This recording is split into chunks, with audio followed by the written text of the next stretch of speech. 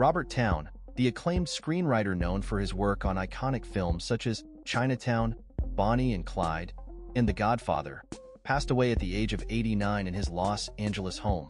Towne, who won an Oscar for his screenplay for Chinatown, was a central figure in the new Hollywood era of the 1970s, collaborating with renowned directors and actors of the time. His talent for crafting compelling dialogue and intricate storytelling set him apart in the industry. Despite facing challenges with meeting deadlines, Towne's contributions to cinema left an indelible mark on the art of screenwriting. His legacy will continue to inspire future generations of filmmakers and writers.